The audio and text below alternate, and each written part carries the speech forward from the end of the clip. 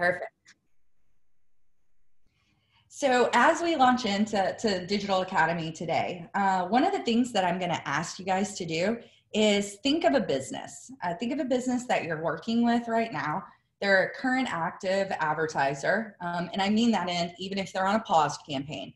I want you to think through one advertiser. It can either be your best advertiser, uh, your most difficult advertiser. Maybe it's an advertiser um, that you have been trying to talk to you about a new website. Um, maybe it's somebody that you're dealing with uh, with an agency. Um, or it could be a business that you go, I think I've tapped out. I think I have uh, gotten every type of product out of them that I'm going to get, and, and they're they're resistant to change. Um, think about who these clients are. It, it, you can pick a client for any reason. And what I'd like for you guys to do is put your client that you've decided on in the chat box. Uh, because we're going to come back to that in a little bit. But would like everybody, as I go through what today's agenda is going to be, um, to think through who is that customer and go ahead and, and show us who that is in the chat box. Um, so today what we're going to talk through are global trends. Uh, we're going to look at online behavior and the different marketing impacts that we're seeing from these consumer behaviors across the, the digital landscape. We're going to take a look at Google's own marketing tactics. What are some of the changes that they've made? Uh, they're a digital company, they're a powerhouse. We look to them first.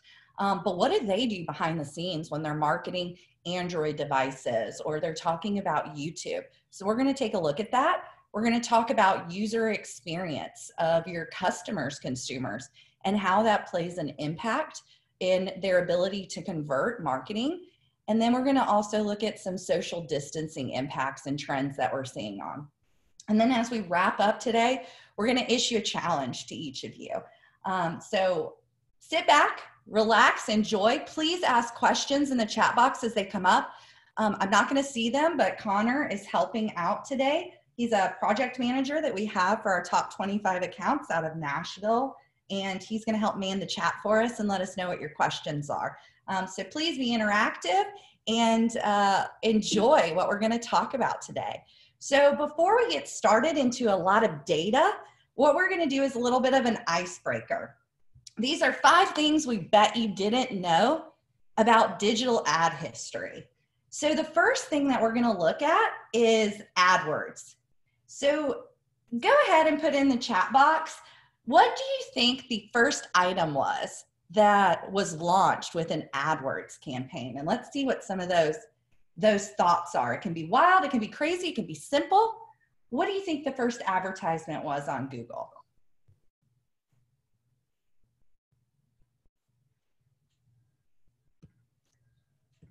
Let's see what people are saying. A dentist, McDonald's, Coca Cola. I like that. Great answers. Nike, that's a good one, Andrea. Big brands. Pizza, very good.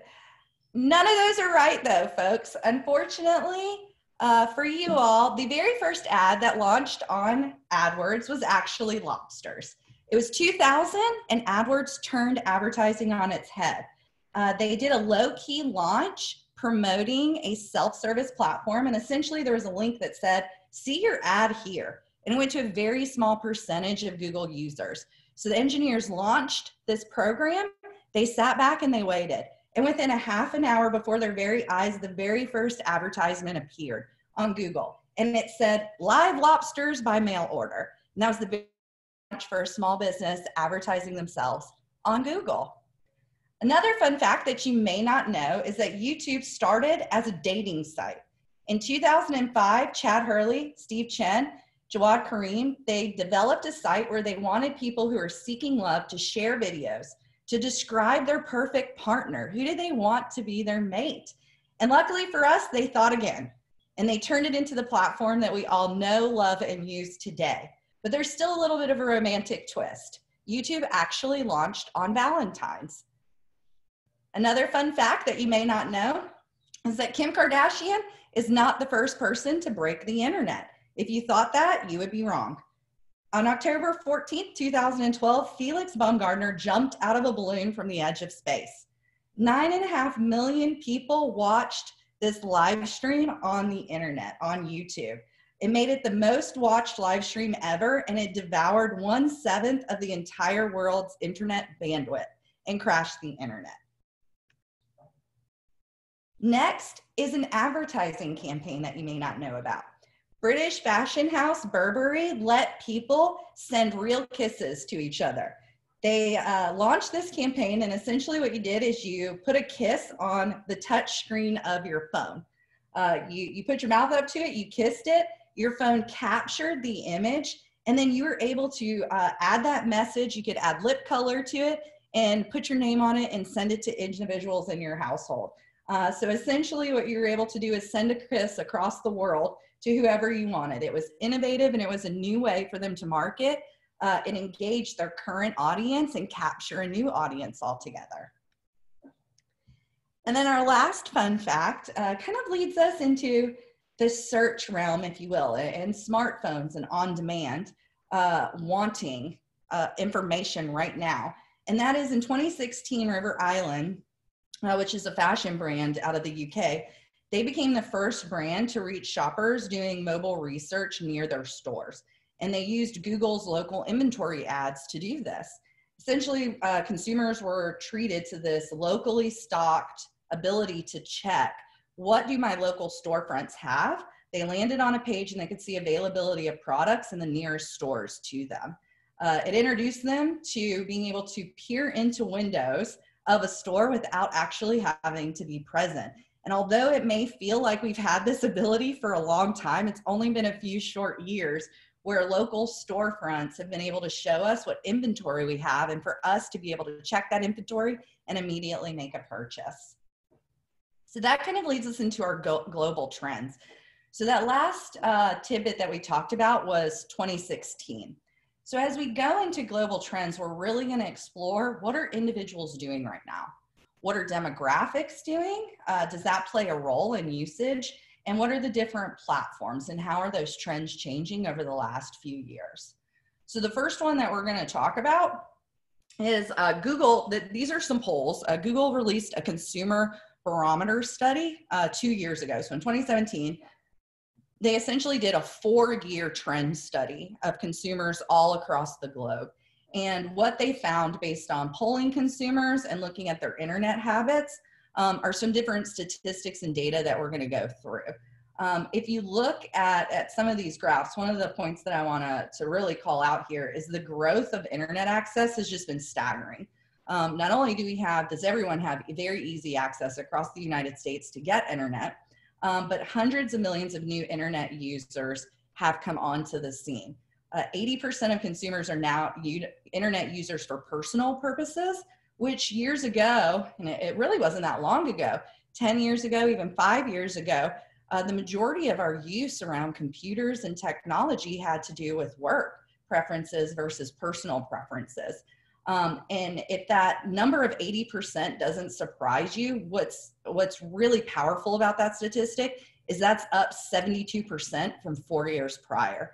So it has actually been a very short time that our adoption has happened. Um, it's happened very quickly and it's happened globally. And I think that's what's so powerful about how digital media is bringing everyone together because it's really taking down a lot of socioeconomic borders um, that previously existed. So if you look at the graph in the top left corner, what you'll notice is that's a that's around how often you access the internet for personal reasons. And what's really, I think, important about this is not just the growth line showing that several times a day, uh, nearly 60% are, are accessing the internet several times a day. It's the drop off of people who only access the internet once a day or less, or even never. That number is eroding rapidly and is just going to continue to accelerate downward. Um, if you go to the bottom left corner, What's also very interesting is the internet's used by all different age groups. So, so you'll notice that 55 plus age group, 75% of those users are on the internet daily. And that's a really powerful number. So sometimes uh, what you hear from our customers that we're out in the field talking to is my demographic isn't online or they're not using the internet as much. And that's just not true nowadays. Um, if you go to the bottom right corner, what you'll see are those statistics on the internet. It's the very first place that I look for information. Um, that is powerful. Across all age groups, over 70% are going online to find information about services that are offered. They're trying to look up content and information about something going on in their daily lives. Maybe it's a medical reason, um, but information is being consumed and answers are being looked for on a daily basis across all these different demographic groups. And I think that's so powerful for us to concentrate on. One of the biggest accelerations of those numbers is the usage of smartphones um, and the adoption and the rise in that usage. In 2012, one in three consumers access, had access to a smartphone. Just four years later, that number rose to 70%, which is just huge. Smartphones have become a part of our everyday life, and research is showing that it's happening across all markets across the world.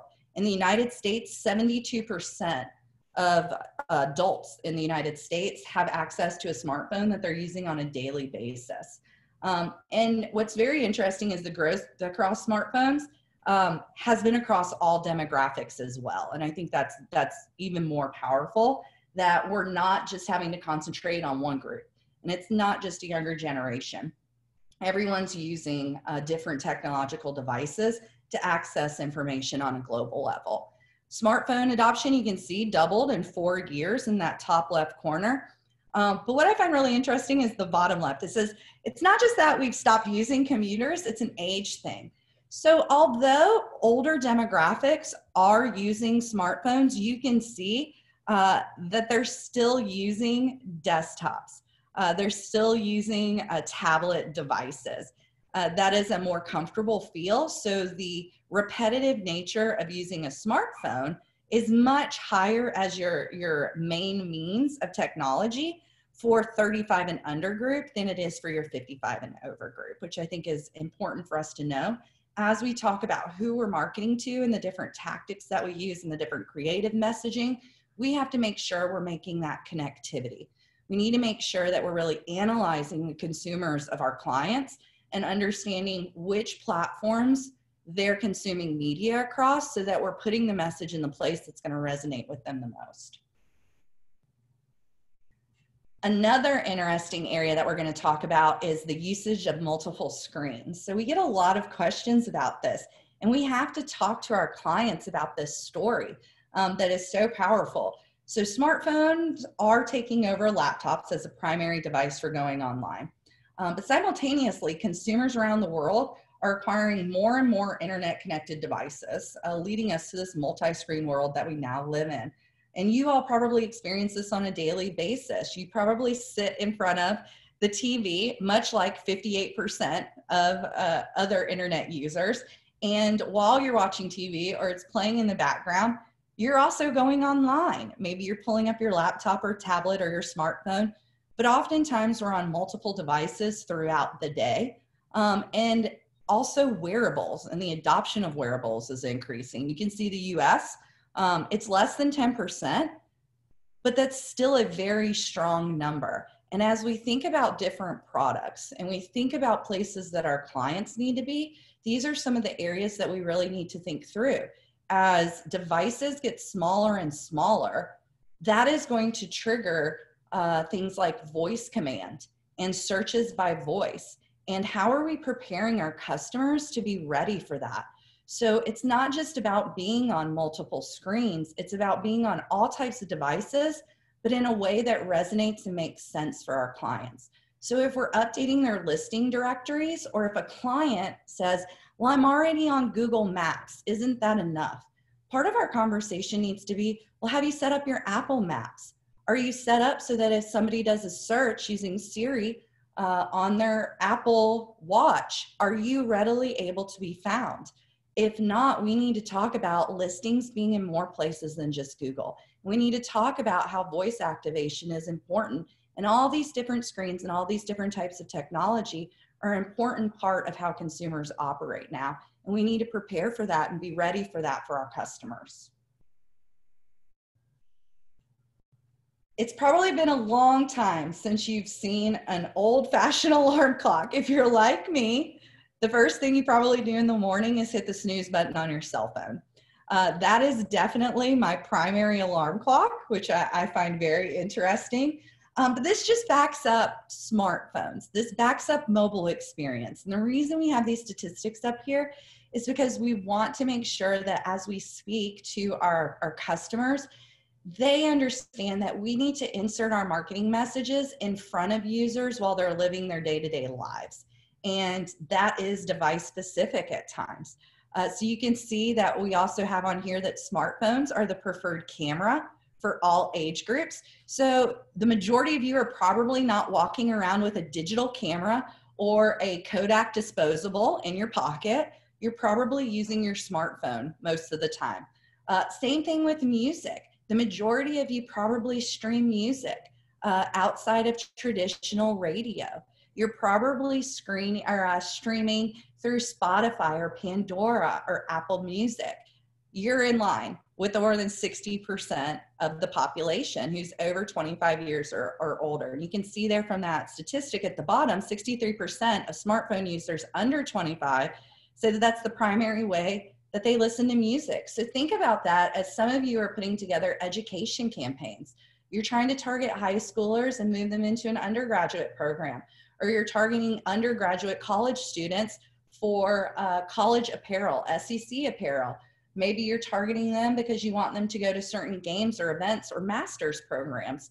All of those uh, different statistics that are on here are ways that we have to be prepared to reach customers and understand how they're they're traveling now and how they're consuming uh, even if we don't consider it media it doesn't mean that there's not a place that we need to insert ourselves as we're thinking about marketing campaigns. So what is the user impact on marketing? I think that's such an important question to think through. As times change how does that lead to how we have to pivot business for our customers well, new smart devices are consistently emerging, and we talked about that on that last slide. We talked about uh, our, our, different types of watch or wearable devices. Uh, consumers are bracing the, embracing this way to interact. So you can see here voice commands, 20% of searches are now by voice. That's so powerful. Uh, this number is going to just continue to multiply over and over. One of the statistics that we saw recently was that almost 40% of searches are going to be uh, voice activated by the end of this year. That's a huge number, and it'll be really exciting to see if we're there. But again, when we talk about programs like listings, this is an avenue that makes us a little bit different. Are we setting up our customers in all of the right places that they need to be? In addition to that, you can see on the right, smartphone owners turn to search first. So getting people prepared. So it's listings, it's blogs, it's making sure that their website's updated. We also need to make sure that our clients are being helpful, but that they're being fast. Consumer expectation is that brands continue to rise, but when those expectations are exceeded, the rewards and sales and loyalty are, are just tenfold. So, what we need to do is make sure that brands are really adopting um, what consumers are expecting from them. So, you can see every second delay in a mobile page load, conversions fall by up to 20%. This is huge. When we talk about using the grader and we talk about scanning our clients' websites before we go in uh, to help them with marketing decisions, one of the reasons that we really need to understand what's happening with a website is that also impacts our marketing. If we're sending consumers through advertising to a website that pages just aren't loading on, that is creating a deficit in our campaigns for our clients. We need to really make sure that we're paying attention to speed on mobile and desktop devices and that we're coaching our customers on how to improve that speed um, and bring down the blocks of consumers being able to convert on their site. And blocks would be page load times not being sufficient and consumers evacuating the website because they're frustrated about that. You can see that 91% of smartphone owners purchased or plan to purchase something after they saw an ad they described as relevant. That's a powerful statistic that you can use in all of your digital marketing moving forward. And the consumer journey is no longer linear. And you all know this, we talk about it often. It doesn't look like a straight funnel from brand awareness all the way through loyalty. People are coming in at different phases now um, but all of the different tactics, online and offline strategies, whether it's digital marketing or it's traditional media, um, they need to all move seamlessly together. We need to make sure that as we're working with our customers, we're not saying don't do TV. We're not saying don't do radio or don't do billboards. What we need to make sure is that we have consistent messaging and that we have a good experience across all of our marketing mediums and that they all tie together in different ways. Uh, so some of these stats, I'm not going to go through them all. These are great to talk through how you can help your customers understand what does that journey really look like. Some of these I absolutely love. Like consumers who click on a Google search ad prior to visiting a store on average spend 10% more that's a great testimony for us to to not only tell our customers who are running paid search campaigns or, or listings uh, campaigns but do we see that same data? Are we are we asking our customers when they convert is the quality better? Are the sales up? And if they're not how do we help them with that? How do we focus on those service lines or those products that are going to drive higher price points per sale and higher margins for them. And let's talk about Google. So I mentioned this at the beginning, a little inside uh, detail on Google marketing. So Google's uh, global marketing CMO I talked about they, they were launching uh, an Android device, and this was a global campaign. Um, but in years prior, and as they looked over how they market, there's really seven different channels within Google that they, they spend a lot of emphasis around.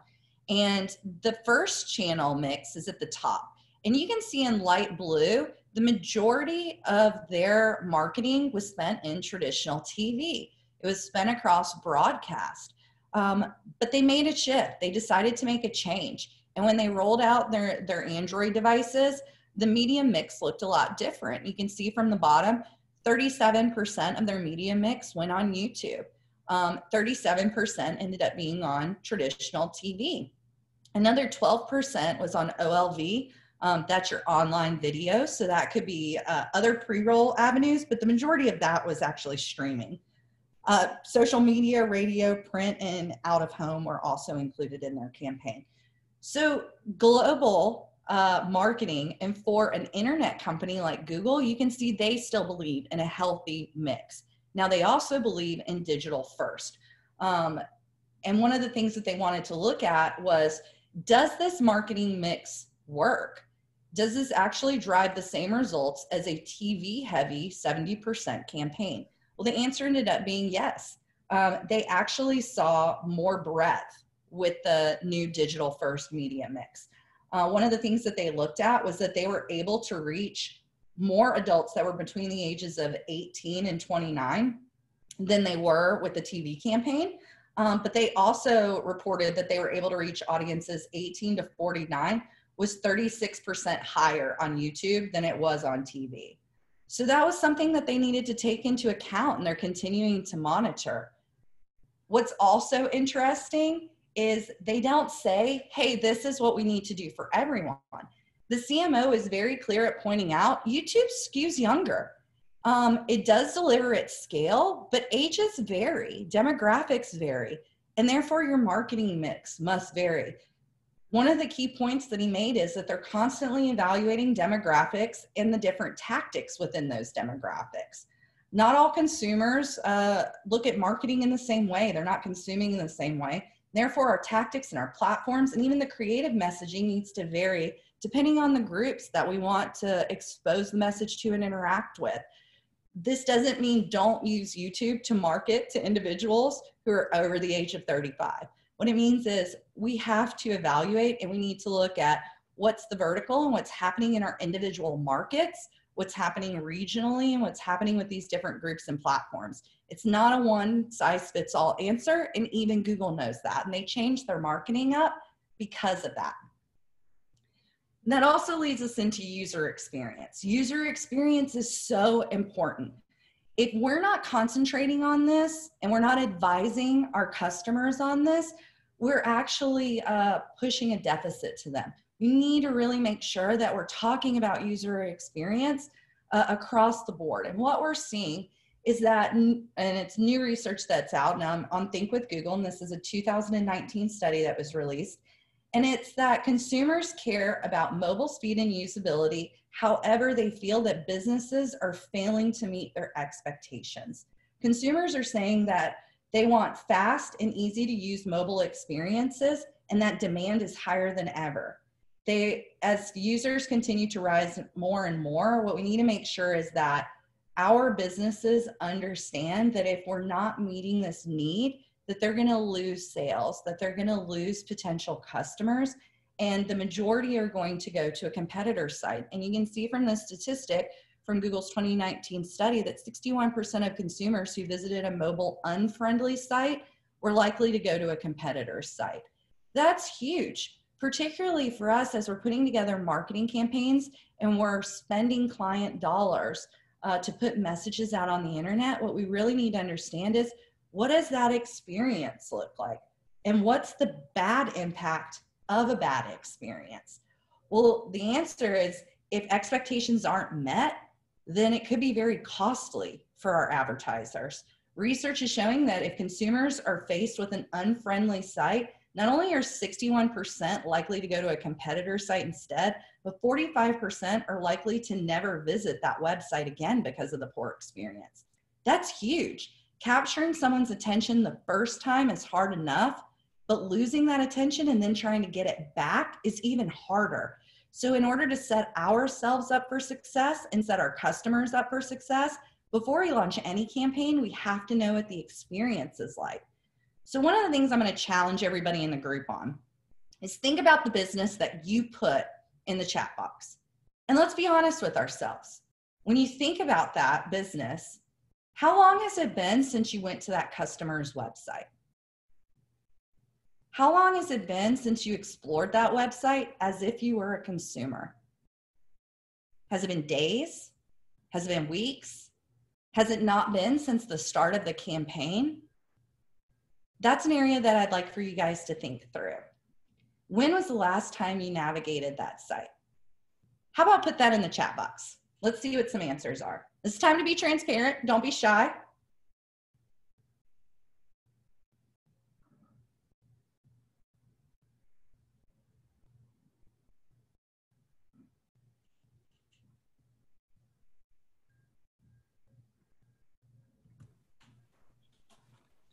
This week, since December. Thank you, Lisa. It's been at least a week, eight days, three weeks ago.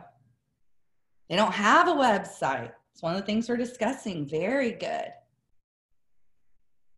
You know, it's not uncommon for us to make a sale, launch a campaign, um, and then move on with our lives. I think at times we forget to inspect.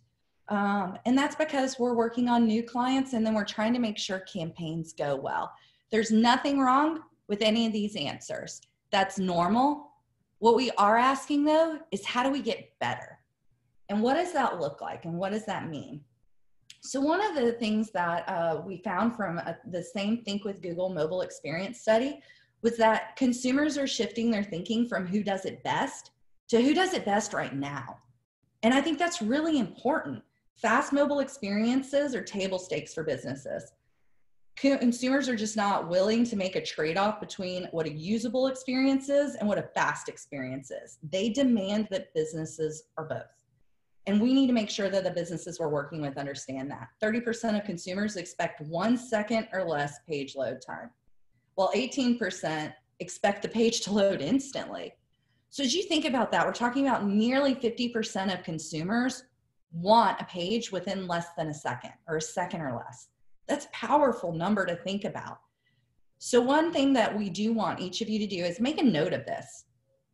Make that mental note in those businesses we're talking about, run a page speed test for them. Let's look at what those numbers actually look like because this may be an area we need to talk about with some of those businesses and advise them how to improve that mobile, that mobile page speed. Now, the next area we're going to jump into is social distancing. Um, so this was an area that I, I think that we all need to think about and explore and not be afraid of. uh, as we move forward and we're doing these digital academies over the next few weeks and we're going to get into product one area that i think we have to keep in mind is some of our world is going to change and it's going to look differently that could potentially mean new technology coming out and disrupting the marketplace think about when facebook came onto the scene and opened up uh, not just to college students but in 2008 when they let everybody get on um, and the, the api was, was you know, Gannett and Blink were the first API, um, and the new ad serving platforms were established. Facebook is a part of our everyday lives now, or Instagram, social media. So disruption could potentially happen, and I think we need to be prepared for that and look at some of the scenarios. One of those is working remote.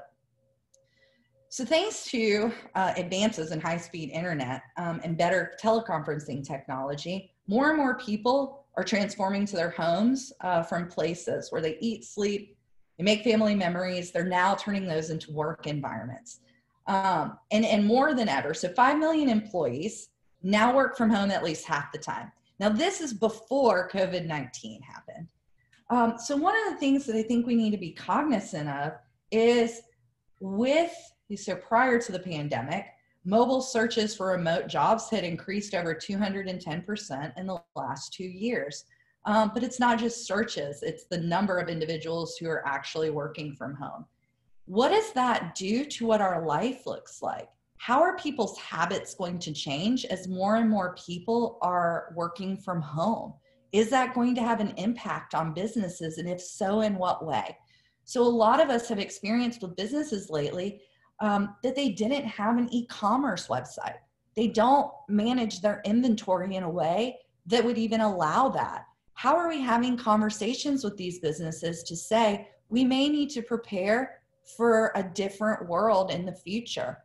People may not uh, have the same routes. More and more people may work from home, which means there may be less and less drop offs at stores or, or drop ins at stores on the way home from work um, you may have to make a special trip out for that now. And what does that do to what consumer behavior and marketing looks like? We don't know yet. And I think we need to pay close attention to that. 30% of people being uh, value being able to choose their work location over an increase in vacation time. So that's very interesting. The primary driver here seems to be quality of life. Uh, they're looking for flexible workspace, and 80% of workers in the US would choose a job that offered flexible working over a job that didn't. And that's powerful statistic that's driving up, even outside of COVID and before this pandemic, it's driving up the desire for individuals to be at home and to have a better work life balance, which is going to have an impact on how we do business. An example of that is groceries from the couch. So e commerce is nothing new, right? But as more and more people are spending time at home, they're going to have less and less shopping trips, and these patterns across roads are going to be changing as well. And we need to pay attention to that. It's not just our delivery apps for groceries, it's across the board. And how are we helping to prepare our clients get ready for a time when less and less people are driving by their stores and potentially it's a special trip for them to go out. So as we look forward, now that millions and millions of people are working from home out of necessity, um, ordering grocery and delivery or pickup because of health official guidelines and what's currently going on with COVID, consumer sentiment is likely to improve. So before the pandemic happened, and although e-commerce uh, was readily available, oftentimes what we saw is certain demographics were not apt to jump on board. They were not apt to automatically uh, start getting groceries delivered from their house or to their house. And part of that is the sentiment around, well, I want to be able to pick out my own produce. I want to be able to touch and feel a loaf of bread and make sure that it's not stale. Um, they're different. I want to be the judge of quality what's interesting is this pandemic may force individuals to have different habits that they get used to. And that's what we need to start evaluating. Those are areas we need to look at, and we need to prepare our clients for conversations like this. So, the challenge to you all is how will our business partners be set up for success? And that's really something that we want you to think through. So, in the short term, marketers are definitely right now having to find out how we're going to meet the most basic needs. But in the long term, we may have to adapt to what this new normal looks like. One other area that I want to talk about is um, AR technology and style ideas in Google Lens. And mainly because this is really taking off right now. So it's not that this hasn't been uh, uh, available um, for the last year to two years, probably. Um, it's that now and now we need more and more to do uh, to have access to this. So, as an example, uh, what you're seeing on the left is AR technology on YouTube. Now, this is also available in ad space on Facebook and Instagram.